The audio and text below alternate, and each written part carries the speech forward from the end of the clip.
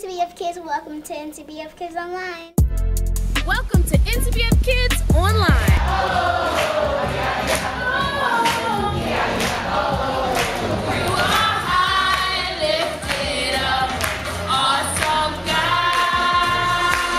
You have a very special experience for them. Hey, I just want to say thank you for watching.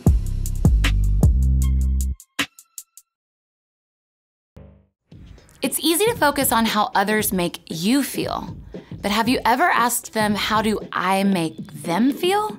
Start by paying attention to your own thoughts. He makes me so mad. She always makes me laugh. I can't believe she's making me wait again.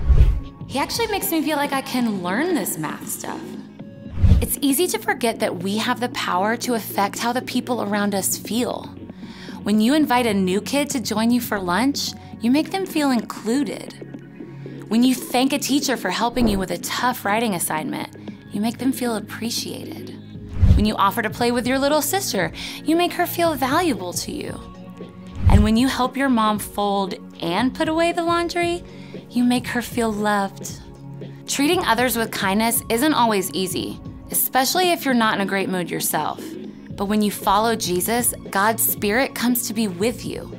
The more time you spend with God, the more kindness begins to grow.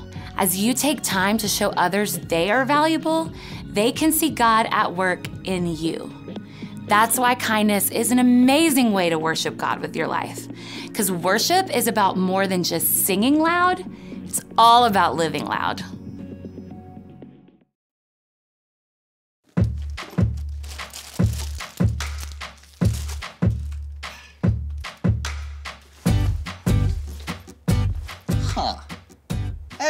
Welcome to Story Lab. This week we're talking about kindness while we take a look at someone who brought light wherever he went. Huh. I thought my lantern was in here.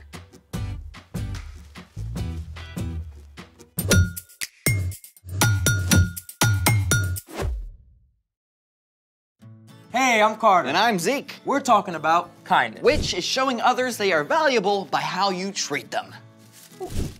I thought you were getting ready to go camping. I am. This looks more like crafting to me. Well, I can't find my camping lantern, so I'm making one. With tissue? Oh, with this. Hey, that's mine. Well, you don't mind donating it for the cause of camping, right? Ew. Ugh. Kids, do not do that at home. Well, there's like four swallows left. We could probably do a whole show on what happens when you drink out of a bottle. Studies have shown that the average reusable water bottle contains 40,000 times more bacteria than a toilet seat. Ew! Oh, gross. Sanitize your water bottles, folks. Well, I'm not gonna use this bottle to drink out of, anyways. Fine, it's all yours. Excellent.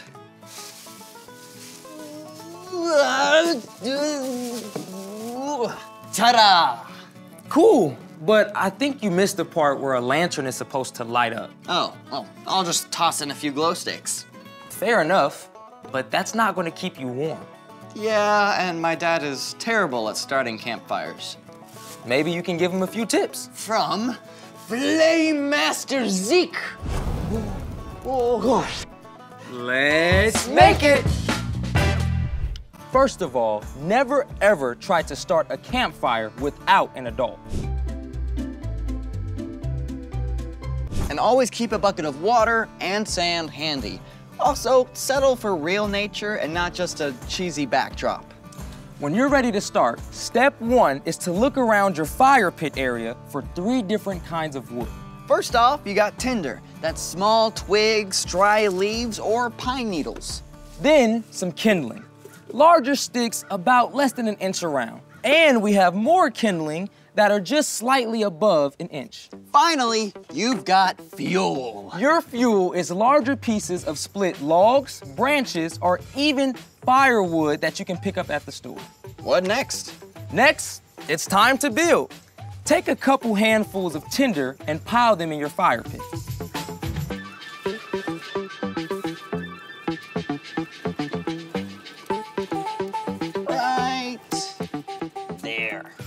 Then add some kindling and build a little tent over your tinder.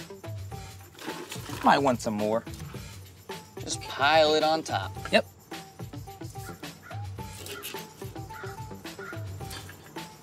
How is that? You got it. Now it's time for a grown-up to bring out a match or a lighter.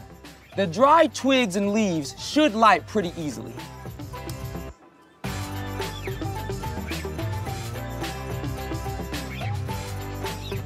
All right. Starting to heat up just a little bit. There we go.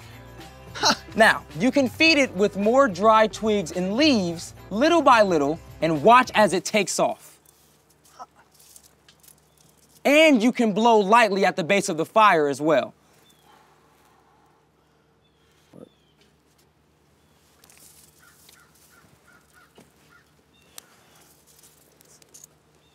All right. Ready for this? Whoa, Flame Master, add some kindling first. Oh. Here. When the fire is big enough, then you can start to add larger pieces of fuel. This is so relaxing. I could do this all day. I bet you could. But meanwhile, it's time for. The story before the story. Today, we're in the book of Matthew. Matthew is one of the four books called the Gospels. These books tell stories from the life of Jesus. Matthew was written down by one of Jesus' followers, a tax collector whose life was turned upside down by his friendship with Jesus. Matthew recorded that when Jesus was about 30 years old, he began to travel from town to town, teaching and healing. Everywhere Jesus went, big crowds gathered. Some people were desperate to be made well.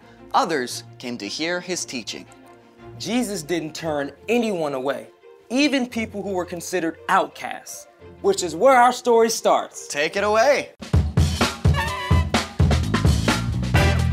Hey everyone, I am Brian. And hey, I've got a question for you. Have you ever wondered what God looks like? I mean, God is so incredibly awesome and amazing and glorious that people can't look directly at God. I mean, when Moses spent time with God on Mount Sinai, Moses' face shone so brightly afterward that he had to cover it. But God wants to be known. God wants to be in a close relationship with us, like, like a good friend. And that's the reason God sent Jesus. The Apostle Paul wrote that Jesus is the exact likeness of God. Jesus is God's Son. So when we look at the things Jesus said and did, we can know that this is what God is like. Jesus showed us what it means to love others like God does. And one of the most important ways that we can show love is through kindness. Now, it's easy to think of kindness as just, well, being nice, and that's part of it. But Jesus showed us that true kindness goes much deeper. Let's take a look at three different times Jesus showed kindness. One day, after Jesus finished teaching, a man with a skin disease threw himself on the ground at Jesus' feet. At that time, if you had a skin disease, there was no easy cure, so you had to stay away from everyone, even your own family. No one wanted to come anywhere near you, much less ugh, actually touch you. The crowd around Jesus would have been horrified. Ew, get away. But the sick man was so desperate, he didn't care about the rules. Lord, if you're willing to make me well, you can do it. Instead of backing away, Jesus did the unthinkable. He reached out his hand and touched the man. I am willing to do it. Be clean. At once, the man was made well.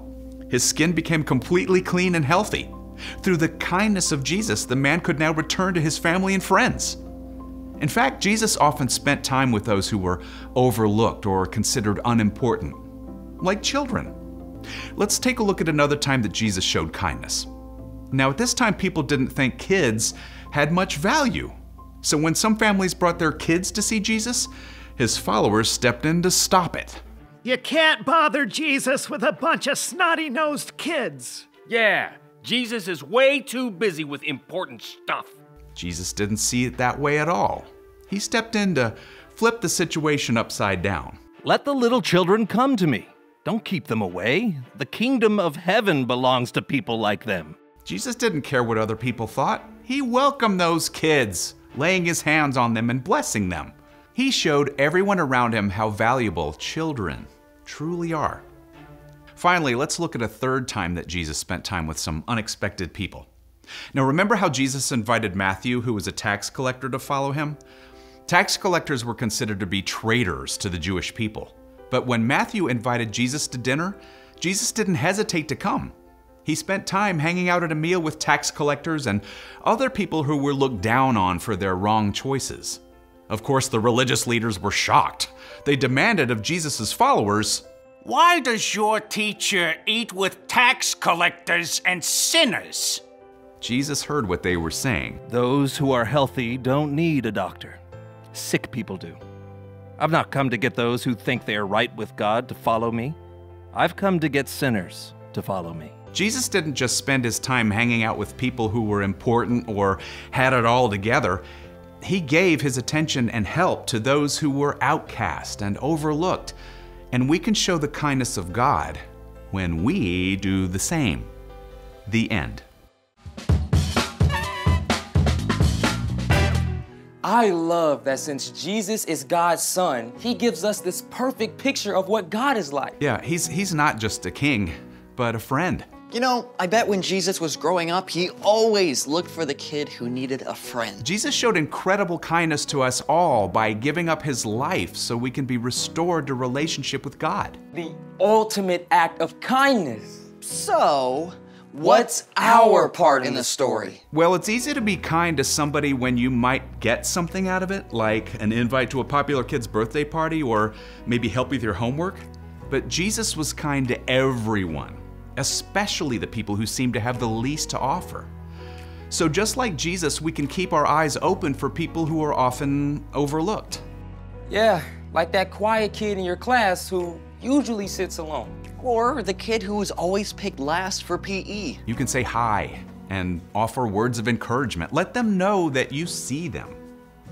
And when you're making a list of kids to invite to your birthday party, Think about including someone who may not get many invitations. Or if the checkout lady at the grocery store looks sad or worried, give her a smile. Or if you live in a place where there are people without homes, ask your parents to keep warm socks and snacks in the car to give away.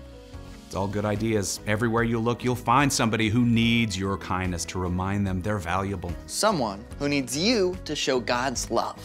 Ask God to help you look for opportunities and then be ready to go for it. You got that right. See you next time. So, here's the thing. Jesus showed us how to be kind. By treating everyone with love and respect. And shining God's light everywhere we go. Just like a warm, bright campfire. Or my lantern. About that. Oh, hold on. Well, look at that. What can I say? I have such bright ideas.